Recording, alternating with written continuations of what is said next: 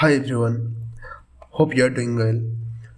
So this video is regarding the interview experience at Airtel Africa that I had uh, interviewed recently. So in this video we will discuss what are the interview questions that, that they asked me and what are the topics that you should uh, prepare before attending an interview in front-end development or in using Angular as well okay so i have like listed out all the questions. So let's discuss them one by one. Yeah.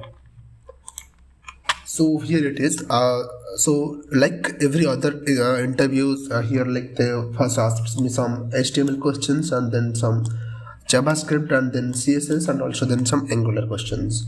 So uh, these are the like uh, some uh, questions that i thought you should be prepare uh, prepare on. And also except this there were some other basic questions. I have not noted them. Okay. So in the in, in the process of this video if i recalls them i will also like uh, say you that so that you can prepare that aspect as well. Okay and also i have like listed some questions. I will also like show you that and uh, how that works. Okay.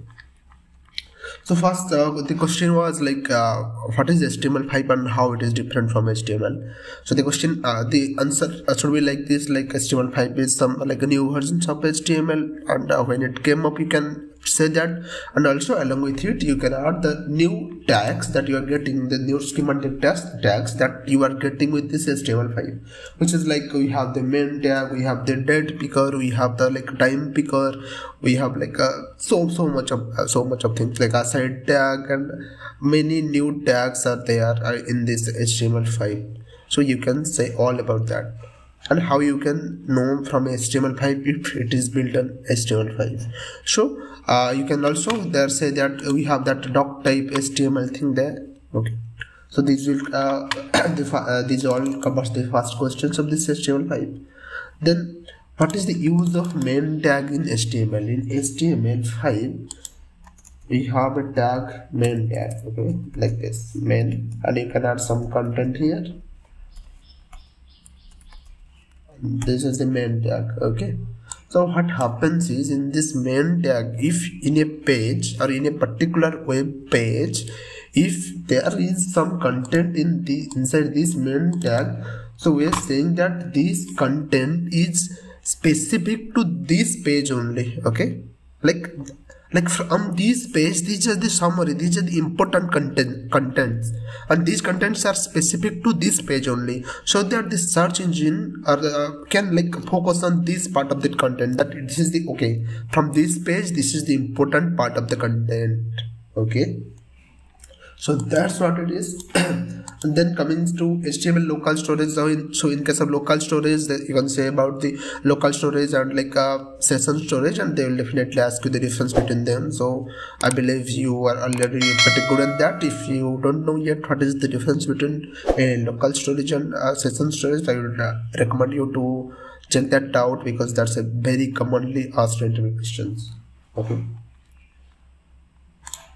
then uh, coming to the CS, uh, JavaScript part, what is hoisting? You know, hoisting and closure are, are such concepts, such concept that each and every interviewer asks you in front-end development.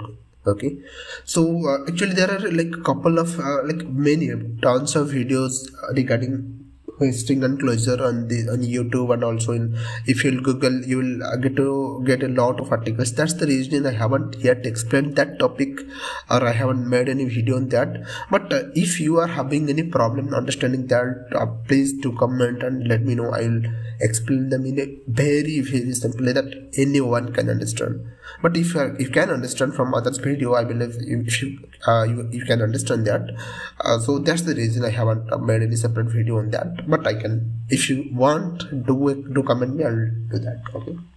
So you, you can uh, say what is hoisting and you can uh, give them an example. And uh, uh, okay so with hoisting they can add you the question of like what is the let const var and what is the difference between them? So all these uh, kinds of questions they can add with the hoisting. Then coming to the closure. So they'll also ask you the questions about closure. What is first of all what is a closure?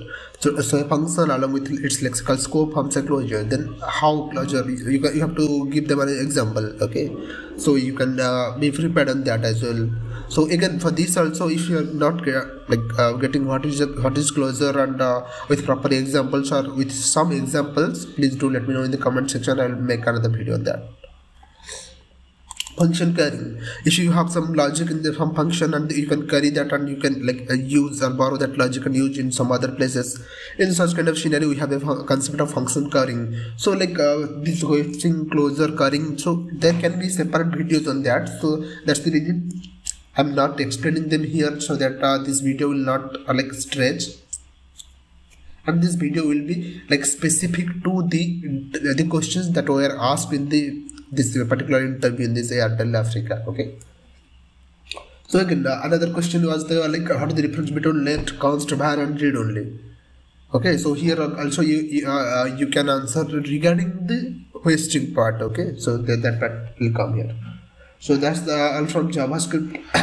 And then they ask about positions in css like uh, what are the position elements present in css so you can say like uh, we have position absolute sticky relative uh, fixed all this. And what is the use of sticky? Okay. So in, in sticky what happens is you can specify that uh, uh, till how many uh, how many scroll a time or like length. So it should be sticky and then it should scroll along with the content so those are the use of that then how to write mixins? So what is a mixin first? if you have like maybe four classes in CSS and these four classes they are some common properties maybe all four classes have the same background color but every other properties are different okay so in this kind of scenario what happens is we write four classes and we write four times the background color or maybe background color and border radius are same. We write those two things repeatedly at four places. But mixin solves this issue. So what happens is you can create a mixin for for the uh, the common properties okay? And you can import that to all the classes okay? And the syntax is like I added at mixins and then you can write a mixins okay so you can check more on this on the internet or I'll, i can make a video if required. Then benefits of using SCSS so you know like SCSS is a preprocessor like uh, on CSS we have preprocessor like SCSS, SS, less all these things. So so what are the benefits of using CSS? We can say about like uh, variables uh, and uh, functions in CSS, importing them and all these things you can also mention there. How to write mixins? I already discussed how to write mixins. Okay. And then uh, coming to Angular first, uh, like uh, the first question was maybe I, that I have not listed here. What how a Angular application works okay? So the first question was how angular application works. So in that case you, you can say that uh, the whole bootstrapping process like uh, uh, the process happens from angular json and uh, it goes to the main.ts and then it goes to the app module all these process you can mention them. And then that the next question was for me what is angular virtual scroll and how you can implement it? So for this concept so actually i have opened a link to show you how the thing works okay let me show you. Okay. See first of all uh, let me give you an uh, example like uh, what are the use case okay? So maybe inside a ngFor okay so you have like uh, some something numbers maybe some list items LIs that you are showing 1 2 3 4 5 like this up to let's say 20000 so you have 20000 LIs on a page list items. And when you are like you cannot see 20,000 elements on one page right? In this page you cannot see 20,000 you have to scroll down. And maybe at one time you are saying only 50 but in DOM there are 20,000 they're making the DOM very heavy. Correct? But we don't need to show that so in this kind of scenario to make the DOM lighter or to improve the performance of Angular application we can implement virtual scrolling. Okay let me show you how this works. First of all let me show you this. See in in this if you see this image see if they'll scroll 557 to 561 only 555 two so that one there in you're scrolling much the others are getting disappeared. They're not there in the DOM. Okay uh, let's see this one more time. See 98 it starts from 986 you're not from 0 it started from 0 if this is 0 is scrolling down. The top things are disappearing. So the DOM is not heavy. The DOM will only contain some elements that that that should show here okay? So that is the like uh, idea of the this uh, virtual scrolling thing okay? So how we implement it? So this is also pretty simple and provided uh, so this feature came to angular from angular 7 okay? Uh, so and uh, it's available since then so in the app module uh, .ts we can import this scrolling module from angular CDK scrolling okay? And then uh, here they are generating maybe uh, 10,000 items.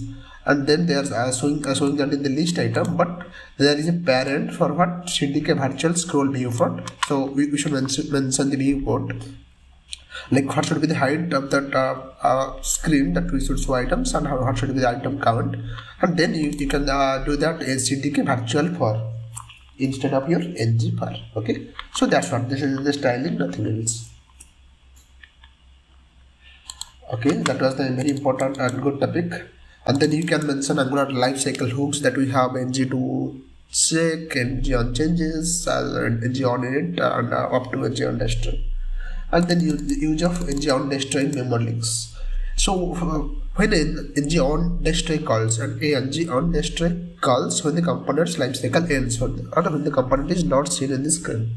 Then what we, first of all and also angular memory leak. Uh, i can also make another separate video on it on angular memory leaks. So for like brief idea uh, i should say that uh, when a component works on or initializes so there are so there are many variables and um, uh, um, arrays that gets memory space okay? But when the component dies when the life cycle ends that the things are not disposal like uh, we, we are not disposing the memories for that variables and all. So those things like if we have some unused memory present in our angular application uh, so that those things are called as the memory leaks. And using the on destroy we can know that when the component died and then we can do a set of actions to like to fix that memory leaks.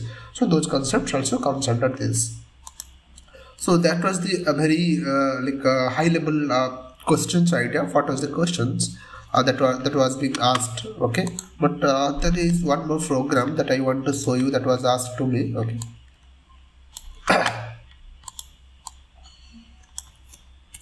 So this is the question okay? So first uh, they asked me like if this is the currently the, the program okay? So what is the output of this program? Uh, like, like what will a print in the console so in this kind of scenario what happens is like first of all var a equals to 5 so uh, first uh, hoisting takes place.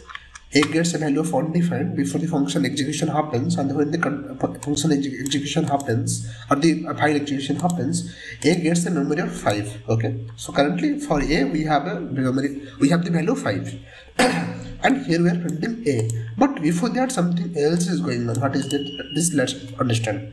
So first of all this is the IIFE what is IIFE IIFE is a immediately invoked function in javascript. And the syntax looks like this. Okay? And inside this IIFE so what we can do is in the first we can pass a function. And this is the function we are passing. And what is the speciality of this IIFE function? That the speciality is when this control comes here it will get executed. No one needs to call this function okay? So here what will happen is this block will be executed and you know var is a uh, function like a function scope variable okay? And this is a like function. This is the function correct? This is our function. And there will be another instance of var will be created here which will hold a value of 6 but this is not the same a as this one okay because there is function scope. This is a function scope and it will stay in this scope only. So if you print a here what will print? It will print to 5 and then the interpreter question change the question a bit and ask me this. What should be the output now? So if the value uh, a is 5 and now we are inside a block we are saying that a value equals to 8 what should be the output? In this case what will happen is the output will be 8 why because this is not a function this is a block. There's a difference between a function scope and a block scope the earlier one was a function scope that we are using inside IIFE but this is a block scoped. But var is not block scoped. So this var here will present represent point to this the member space of this a. So that when you are writing var equals to 8 this var a will be changed and if you print here this value will be printed as 8 okay so that's it uh, these are the interview questions uh, from airtel africa and they are also like uh, uh, saying me how the team their works and uh, their team's age and all and what they are building like uh, from the recharge application and all uh, for all the for the whole Africa they are building building on on, on top of Angular.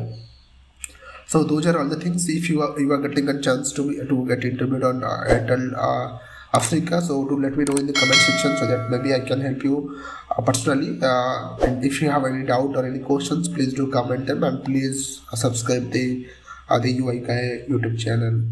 So that's it for this uh, video. Thank you for staying connected. Bye bye.